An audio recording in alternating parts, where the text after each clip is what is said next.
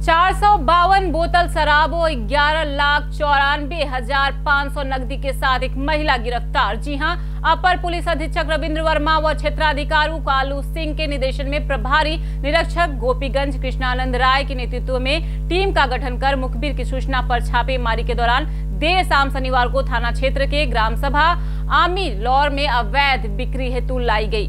चार सौ बावन बोतल अलग अलग ब्रांड के अवैध शराब के साथ साथ घर के बॉक्स में रखे शराब की बिक्री के कुल ग्यारह लाख चौरानवे हज़ार पाँच सौ नगद रुपए बरामद किए गए। गोपीगंज कोतवाली और पुलिस चौकी गोपीगंज पुलिस ने शनिवार को रामपुर गंगा घाट के अमरलौर गाँव में छापेमारी कर चार सौ बावन बोतल शराब के साथ एक महिला को गिरफ़्तार किया। कार्रवाई पुलिस की तरफ़ से की गई है। ये दिनांक दो नवंबर को प्रभारी निरीक्षक कृष्णानंद राय को प्राप्त सूचना प्राप्त हुई कि अमलोर गाँव में पंकज शुक्ला व उसका परिवार शराब के कारोबार में लिप्त है।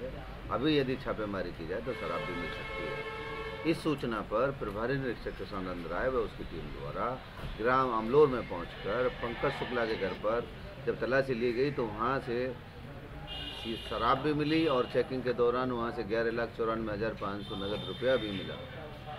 ये सर जो पैसा वहाँ मिला है वो किस उद्देश्य से वहाँ रखा गया था? क्या अभी तक जानकारी मिली है? अभी तक ये पता चला गया कि शराब का कारोबार ये काफ़ी समय से करते आ रहे हैं तो वो पैसा त्यौहार की वजह से बैंक में नहीं जमा कर पाए उसी उसी की अर्जित आय है ये अवैध द्वारा जो धन कमाया गया है उसी का पैसा है। सर अभी पूछताछ में क्या पता लगा है कि कहाँ से शराब ये मंगाते थे या कहाँ कहाँ सप्लाई करते थे?